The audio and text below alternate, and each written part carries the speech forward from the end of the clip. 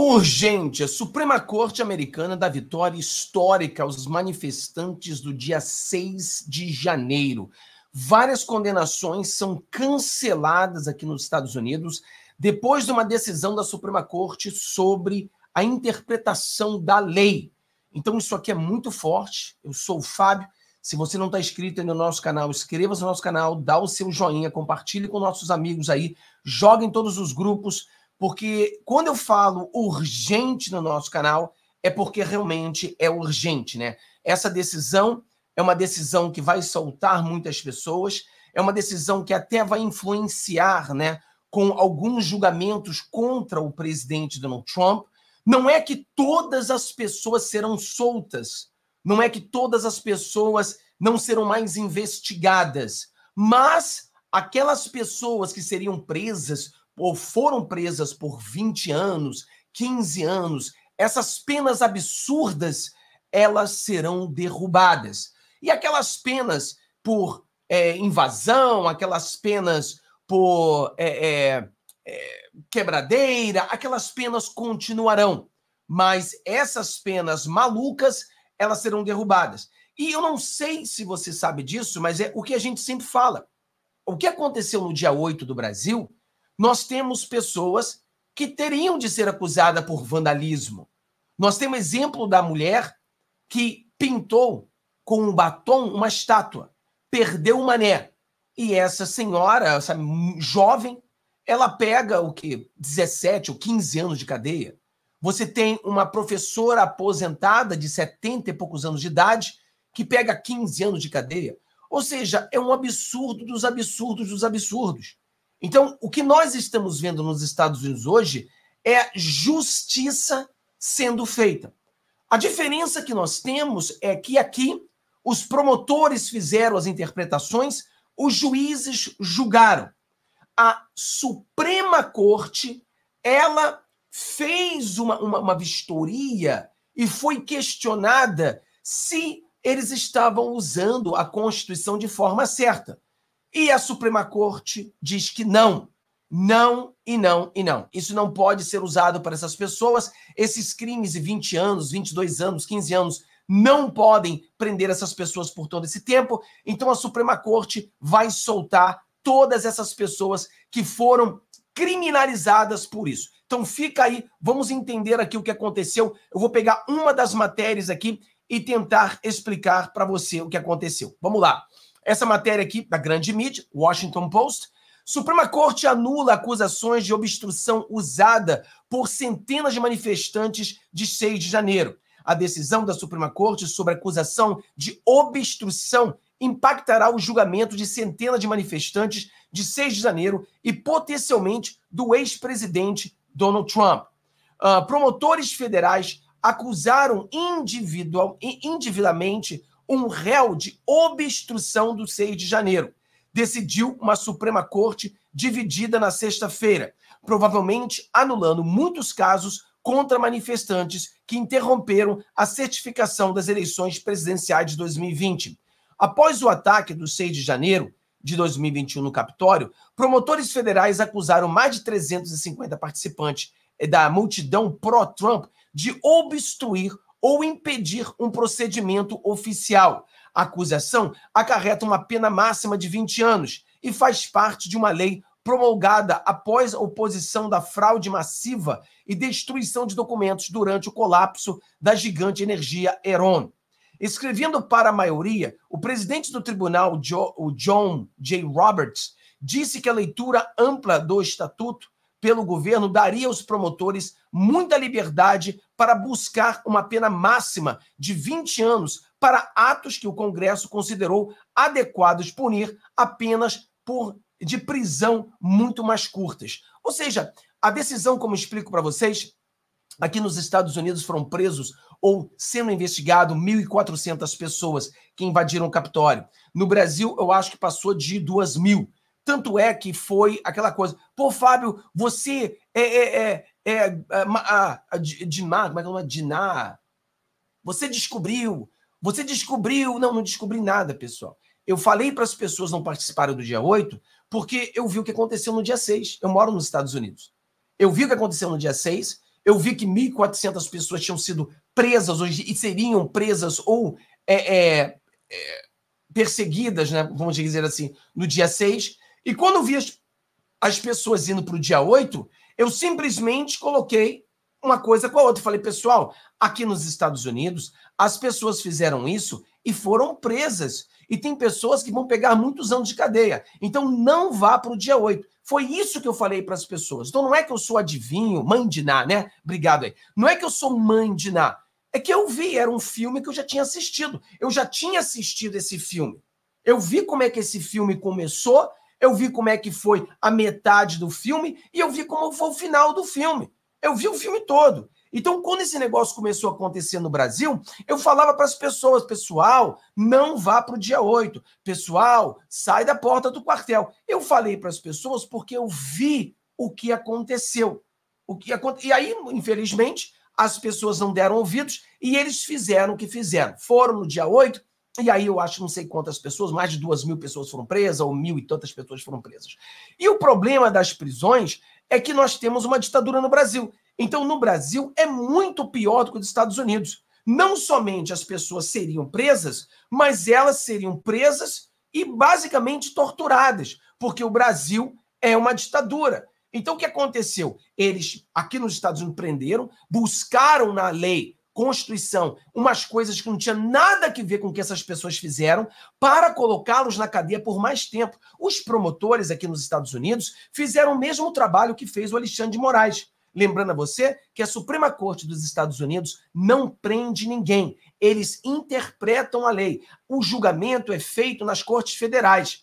Uma vez que o juiz prende alguém, alguém, o juiz solta alguém, a Suprema Corte não prende e solta. A Suprema Corte, ela revê a Constituição e fala: olha, o que foi feito aqui foi ilegal. Então, se foi ilegal, essa pessoa terá de ser solta. Se foi legal, essa pessoa pode continuar sendo solta. Mas não é a Suprema Corte que julga as pessoas. Não é a Suprema Corte que bota alguém na cadeia. Eles simplesmente interpretam a Constituição. Então, isso que aconteceu. Aqui, os promotores tentaram fazer como Alexandre de Moraes, empurrar todo tipo de lei para que as pessoas servissem de exemplo, para que todos ficassem com medo dele, para que ninguém mais pudesse criticá-lo, ou ir às ruas, ou fazer qualquer tipo de coisa. Foi um trabalho ditatorial do Alexandre de Moraes deixar todas as pessoas com medo. E as pessoas ficaram com medo.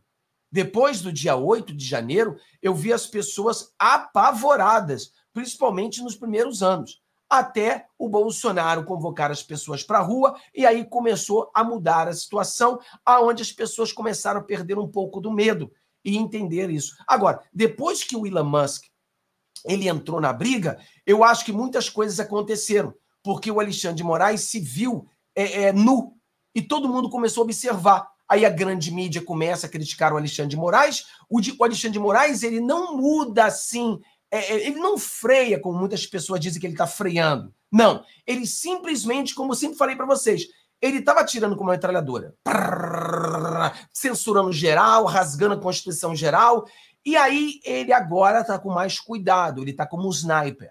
Então ele pega as pessoas, todas as pessoas envolvidas no dia 8, o presidente Bolsonaro e toda essa gente. Por exemplo, ele acabou de censurar o monarca mais uma vez.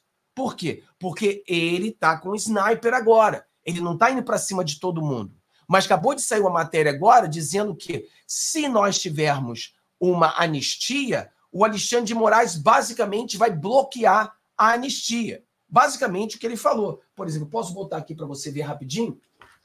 Para a gente voltar aqui. Olha o que o Alexandre de Moraes falou aqui. Deixa eu ver se eu estou aqui. Ah, talvez eu coloque aqui no meu telefone mesmo, porque para a gente não perder muito tempo, né? Deixa eu ver aqui. Ah... Aqui, ó. Há um movimento do setores do Congresso falando de anistia. De alguma forma, o Supremo Tribunal Federal, o Judiciário, uh, se sente afetado de uma decisão que, por exemplo, tenha sido de alguma maneira anular ações na justiça contra golpistas? Vamos, vamos é, aguardar é, o, quem admite ou não anistia é a Constituição Federal. E quem interpreta a Constituição Federal é o Supremo Tribunal Federal. Entendeu? Então, Alexandre de Moraes, deixa eu botar de novo para você ver o áudio agora. Não precisa ver a cara dele, só o áudio. Ó. Tem a pergunta. De alguma forma, o Supremo Tribunal Federal, o Judiciário, uh, se sente afetado de uma decisão que, por exemplo, sido de alguma maneira anular ações na justiça contra benefícios? Vamos, vamos é, aguardar é, o, quem admite ou não anistia a Constituição Federal. E quem interpreta a Constituição Federal é o Supremo Tribunal Federal. Quer dizer, como eu falei para você, vinham falando, né? No Brasil nós temos a Constituição brasileira e nós temos a Constituição alexandrina.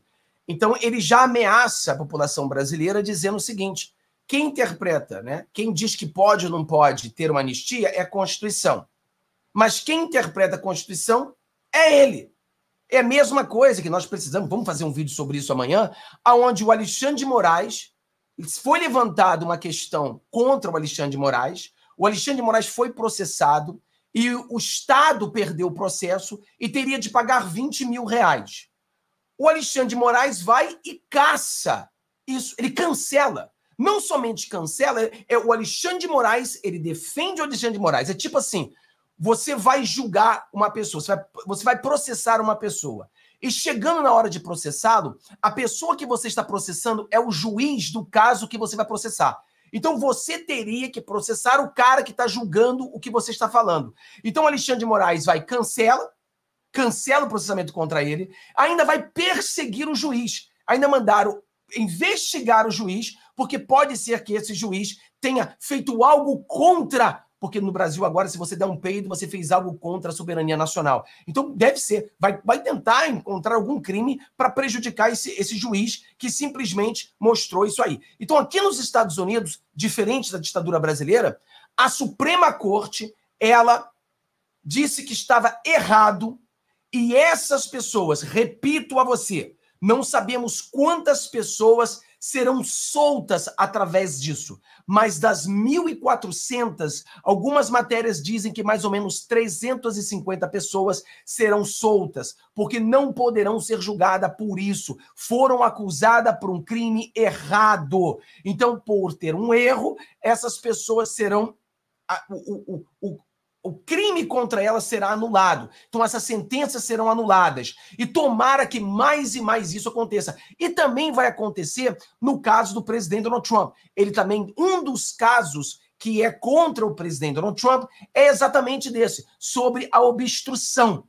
A obstrução. Então, algumas pessoas ali ficaram presas, sim. Ficaram presas é, um ano e meio, ficaram presas três meses, ficaram presas seis meses. Como eu falei para você, existem pessoas no dia 8 que têm que ser punidas. Punida por quê? Porque elas quebraram. O rapaz que quebrou o relógio, ele quebrou um relógio, pegou 15 anos de cadeia. Pô, o cara quebrou um relógio. Ele não pode pegar 15 anos de cadeia. Você tem que arrumar uma maneira de como essa punição ela pode beneficiar o Estado e não prejudicar o Estado. Prender essa pessoa não vai arrumar o problema que ele fez. Entendeu? Ele não matou ninguém, ele não cometeu nenhum crime aonde ele é um perigo para a sociedade. Ele simplesmente derrubou algo que é público. Então o que ele tem que fazer? Ele tem que arrumar uma maneira de pagar aquilo ali. Como é que ele vai pagar sendo preso? Não faz o menor sentido. Sendo preso por 15 anos, não faz o menor sentido. Aquilo ali foi vandalismo. Então ele tinha que pintar umas 10 escolas. Bota o cara para pintar 10 escolas. Bota o cara para limpar 20 ruas. Então ele vai agregar para o Estado, vai trazer valor ao Estado e pronto, vai aprender a não fazer essas cagadas de novo. Então as pessoas que entraram ali não estavam armadas, estavam com camisa do Brasil, é, Bíblia, e simplesmente orando. E a, mesmo aquelas que quebraram as coisas, então se quebrou, foi vandalismo. Você leva um tapinha na mão e pronto. É isso que acontece. Então, o que aconteceu nos Estados Unidos é isso. Eles deram multas animais para as pessoas e essas pessoas agora a Suprema Corte derrubou, cancelou essas multas, essas prisões, e agora essas pessoas serão soltas e outras terão prisões reduzidas e não essas prisões gigantescas. Por exemplo, dar um exemplo para você rapidinho aqui sobre isso aqui. Né? Por exemplo, olha isso aqui. Ah, Peraí, peraí, peraí. Coisas assim que a gente não pode. Olha só isso aqui. Invasores bolsonaristas podem pegar mais de 15 anos de prisão, dizem criminalistas. E exatamente, porque estão usando a lei errada. Usaram a lei errada, usaram a lei para dar uma, uma, uma, uma punição a essas pessoas que não deveria ter sido feita, né? Então esse é o grande problema. Então vamos lá, mais mais coisas aí. Olha só isso aqui. Vamos lá. Isso aqui eu falei. Né? Moraes mantém mãe de duas crianças presa por 14 meses sem denúncia. Então não tinha nem denúncia essa senhora, né? Ó, presa sem denúncia por mais de um ano e dois meses, a cabeleireira Débora Rodrigues dos Santos segue longe dos filhos de 6 e 9 anos, desde 17 de março. Ela não entrou em nenhum prédio público, mas foi fotografada escrevendo com batom a frase perdeu mané na estátua da justiça localizada em frente à sede. Por exemplo, vamos ver o caso dela aqui. Ela foi e escreveu numa estátua perdeu mané. Perdeu mané foi a frase que o Coringa, né, o, o Joker, lá da Suprema Corte, fez quando ele estava aqui nos Estados Unidos, se não me engano. Perdeu mané, numa mola. Foi as palavras do juiz da Suprema Corte. Então ela escreveu perdeu mané. Ela escreveu com batom, pessoal. Qualquer paninho ali, você limpa aquilo ali, acabou. Então não tem uma destruição a patrimônio público. Nada foi destruído. É um batom. É um batom. Qualquer pessoa, ela mesma poderia ter sido punida para limpar a própria estátua e deixar a estátua limpinha como estava antes. Mas não, pegaram a menina e parece que ela foi condenada a 15 anos, um montão de anos de cadeia. Então, esses absurdos não acontecerão nos Estados Unidos. A lei funciona, a lei funcionou. E isso aí mostra cada vez mais que o Brasil está cada vez mais no caminho errado. Então precisamos continuar essa luta, precisamos continuar a lutar pela justiça, precisamos lutar pela anistia. Ah, Fábio, mas o Alexandre de Moraes disse que vai derrubar a anistia. Nós precisamos lutar pela anistia e que ele derrube, que ele derrube a lei da anistia, para que a gente possa eleger um número gigante de senadores e impeachment o Alexandre de Moraes. Deus abençoe a todos vocês, tenham um dia maravilhoso. Vejo vocês agora às 15 horas na nossa live falando sobre a questão do Trump, tá bom? Tchau, tchau, te vejo depois.